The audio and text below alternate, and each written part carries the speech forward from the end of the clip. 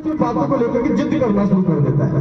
और पिता के पास में जेब में एक भी पैसा नहीं ध्यान से सुनना है। आपको पता है कि आपके माता पिता के पास में प्राइवेट स्कूल में पढ़ाने के लिए पैसे नहीं है, लेकिन उसके बावजूद भी अपनी औकात से ज़्यादा वो अपने सपने बेटा बेटी के पूरे करने की कोशिश करता है। तो वही पिता यहाँ पर देखिएगा क्या प्रयास करता है। पिता मजबूर हो गया। और फुल्लेवाल के पास से भी बोलता, आगे चल, आगे और भी बहुत सारी चीज़ें हैं। वो टालना चाह रहा था कि कैसे भी करके बच्चा शांत हो जाए, इस मेले से बाहर निकल जाए। एक भी पैसा खर्च करता उसी दौरान झूलों में देख रहा था तभी बच्चे का हाथ पिता से छूट जाता है और बच्चा उस भीड़ में खो जाता है। पिता, चारों तरफ़ घूमता है, उसको बच्चा कहीं नहीं मिलता है।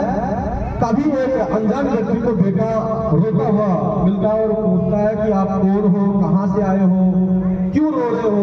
अब वो नाम न बताए, गाँव न बताए और रोना शुरू करे पापा पापा पापा बोले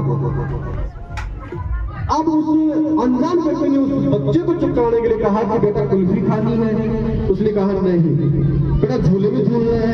नहीं बेटा गुब्बारा लेना है? नहीं। जो चीज़ उसको पिता से चाहिए थी, वो चीज़ उस अनजान व्यक्ति को मना कर दिया। तो बेटा, चाहिए क्या? उसने कहा कि मुझे मेरा पापा चाहिए। तो ध्यान से समझिएगा, यहाँ पर शायद मुझे लगता है कि गुब्बारा, कुल्फी, चाट, पकौड़ी, झूला, सब पापा के प्यार में कम पड़ गई है। अर्थात उसको ये सब चीज़ की ज़रूरत नहीं है। किसकी ज़रूरत है? Tell me answer all students loudly किसकी? पापा की आवश्यकता है, झूलू की आवश्यकता नहीं है। पापा मिल गए तो झूले, कुल्फी, गुब्बारा सब कुछ प्राप्त हो गया। और ये वास्तविक बात है, कभी छोटे बच्चों को देख लेना।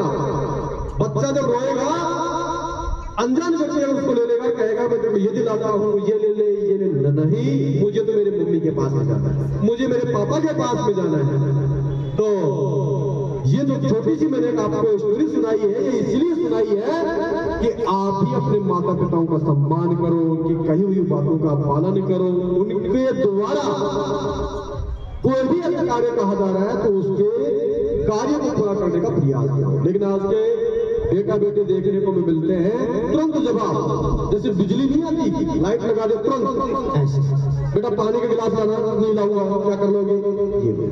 वो तो कुछ नहीं कर सकता है लेकिन आपने क्या किया है? वो आप खुद सोच के देखो जिसने आपको जन्म दिया पाला पलोसा खिलाया पिलाया पहनाया और उसको आप ऐसे जवाब दे रहे हो तो ये आपकी पढ़ाई व्यर्थ कभी कभी आपको सुनने को मिला होगा कि पानी का गिलास अगर रखा है या फिर चप्पल मोदी पड़ी है, पड़ी रहती है ना, उसको सीधी नहीं करते, ठोकर मार देते तो तभी हमारे जो बुज़ुर्ग लोग हैं, वो कहते हैं कि भाई स्कूल क्यों जाता है? तेरे को इतना ही नॉलेज नहीं है कि चप्पल मोदी पड़ी है, उसको करो। हालाँकि स्कूल में ये चीज़ सिखाई नहीं जाती ना। ये चीज़ सिखाई नहीं जाती, लेकिन कहीं ना कहीं हमारे यहाँ पर परिवार में अगर रह रहे हैं तो सबसे ज़्यादा पढ़ाई से ज़्यादा इंपॉर्टेंट क्या है? संस्कार। क्या है? संस्कार। अगर आप अपने संस्कार भूल गए तो आपकी पढ़ाई ज़ीरो है। आपका ज्ञान इस धरती के ऊपर बोझ आप भी बोझ इसलिए धरती के ऊपर बोझ मत बनो। माँ बाप के लिए बोझ मत बनो। कुछ ऐसा प्रयास करके दिखाओ, जिससे कि आप अपनी लक्ष्य या फिर आप अपनी ऊंचाइयों को छू सको।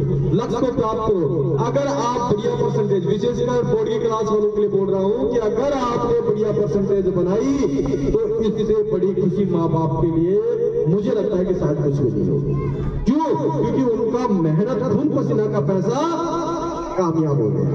और अगर आपकी परसेंटेज बनेगी पचास, साठ, पैंतालीस, चालीस तो वो आपके सामने आँसू नहीं बहाएँगे। लेकिन आँसू बहाने से भी दुगना दुख उनको होता है। इस चीज़ का एहसास आपको नहीं होने देते। वो एक कोने में जाकर के इतने दुखी होते हैं रोते हैं, आप उस चीज़ को कभी फील नहीं कर सकते। इसलिए मेरा आपसे प्रयास है कि दुनिया में कुछ भी काम करना, किसी को दुख तकलीफ़ देना, लेकिन अपने माता पिताओं को दुख तकलीफ़ मत देना। अगर आपने अपने माता पिताओं के आँख में आँसू आपकी वजह से देखे तो आपकी पूरी कमाई, पूरी पढ़ाई, लिखाई सब कुछ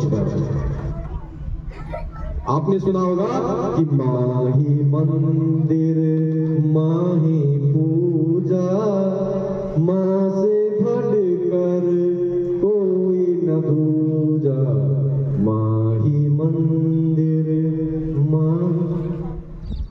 सुना है कि नहीं गाना माँ से बढ़कर इस दुनिया में कोई भी नहीं है। ईश्वर जो है, ईश्वर भगवान जिसको बोलते हैं, उसको भी किसने जन्म दिया है? अरे माँ ने तो जन्म दिया है। इसलिए माँ का दर्जा इस दुनिया में सबसे ऊँचा माना गया है। और आपके घर में साक्षात कौन बैठे हैं? माता पिता के रूप में भगवान बैठे हैं। क्या कभी आपने शेरा वाली माता के सामने ऐसे अगरबत्ती करके रख दिया रात मुझे? ड्रेस चाहिए, जूते चाहिए, रसगुल्ले चाहिए। क्या वो दे देगी क्या? नहीं देगी ना? आपको अगरबत्ती करने की ज़रूरत नहीं है। विनम्र भाव से हाथ जोड़ करके माता पिताओं को एक बार बोलो कि मुझे क्या चाहिए? रसगुल्ले चाहिए। नए कपड़े चाहिए जूते चाहिए सुबह आ जाएँगे लेकिन विनम्र भाव से भावुक होकर के तो मिलेगा। इसलिए हमारा जो कहने का मकसद ये है आज आप यहाँ से जैसे विदा हो रहे हो तो विदा आपका उन्नति के ऊपर हुआ है। जैसे कि टेंथ क्लास में हो तो विदाई कक्षा दस से आपकी हुई है, ना कि स्कूल से, ना कि हमसे, ना कि अपने छोटे भाई बहनों से। नहीं, विदाई किसकी हुई है?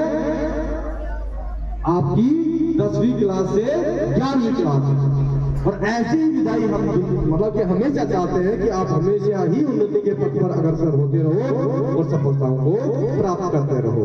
आपको पता है कि सड़क और गुरु जहाँ है, वहीं रहते हैं। सड़क और गुरु जहाँ है, वहीं रहते हैं, लेकिन उसके मार्गदर्शन के ऊपर चलने वाला राहगीर मंजिल पहुँच जाता है।